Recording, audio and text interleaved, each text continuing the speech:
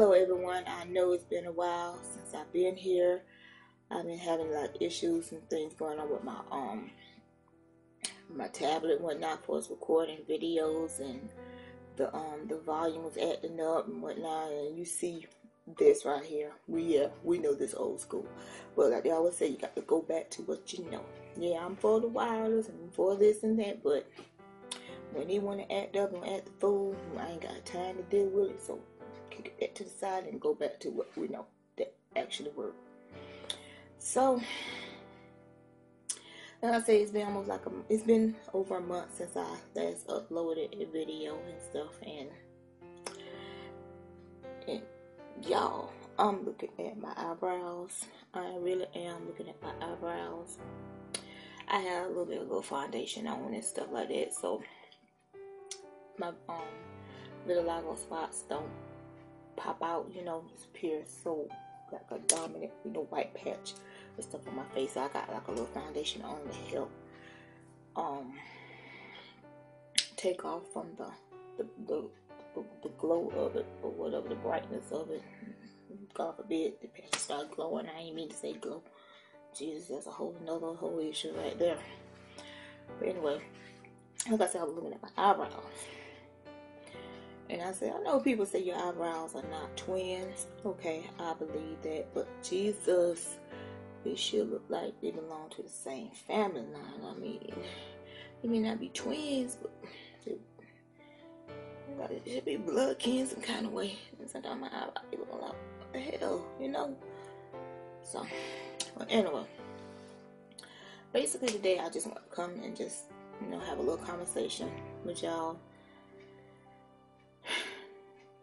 I mean, I be when I be out and about, you know, taking care of business, running errands, whatnot. And you go inside, you know, like some of these stores, department stores, gas stations, grocery stores, and I'm standing in line, and I'll just, I cashier, cashier, I've done cashiering and I just really feel for the cashier. I really do. Because you have some of these customers that comes in a store and they're just so obnoxious. They're just so rude and disrespectful. And especially down here in the South, it is really disrespectful here in the South.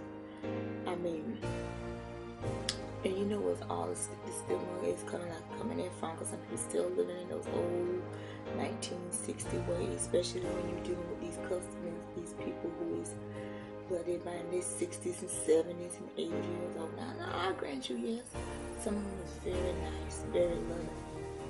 And then you got some of them that if you could,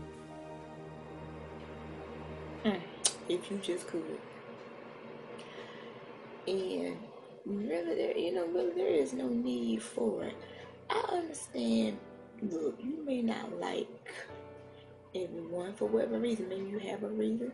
Maybe it's a misunderstanding. You may be going off on what somebody else say about a person and you think it applying to you. But really, when you enter into any place of business, and I know customers is the one that pays, you know, the employee check, but everyone is either you are either a customer or you have a customer service.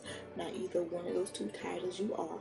And if you are in customer service, you are both a customer service employee as well as a customer because you, when you go into another store yourself, to give that person your business. Okay, so that people come to you to give you their business. Now, just because someone gives you their business and they're actually putting money in their drawer and their drawer is actually going you know that don't mean you have a right to treat that cashier any kind of way. You don't have to like them you know what I'm saying? But you at least can respect them. If they're respecting you and showing you respect, greeting you in a respectful manner, you can do the same. Now, whatever issues you had going on with you that day, before you got to that store, before you got off from work, or before you left left home. Don't take it out on that cashier. They have nothing to do with it. And if a rule or regulation that they are following goes is is not agreeing with you for whatever reason, you don't take it out on that cashier. You don't take it out on that customer representative. You take it to the boss, the next person in line above them, and you t- voice your concerns. Just like you have the the bravery, you have bravery in your heart. You you you strong enough, bold enough to go tell the boss if you got a complaint against someone. Then you use that same bravery when you want to go and complain against them. But people don't do that now, do they? They don't. Y'all don't do that, do you? You'll go and you come into the cashier. You come into the to the um, cashier and then you're complaining about, oh, well, how come y'all have to do this? Or, oh, how come we can't do that? I've been doing that. You tell me, you can kind of go back there and check with the boss and see what she say. Oh, y'all, they'll, they'll look and they'll look at them. They'll look at the boss. They'll look at the manager or whoever is on duty and they'll be like, oh, never mind. And I'm like, really? Let me come on the same side of the counter where you at, and let me look at it, because y'all might be seeing something I ain't seeing.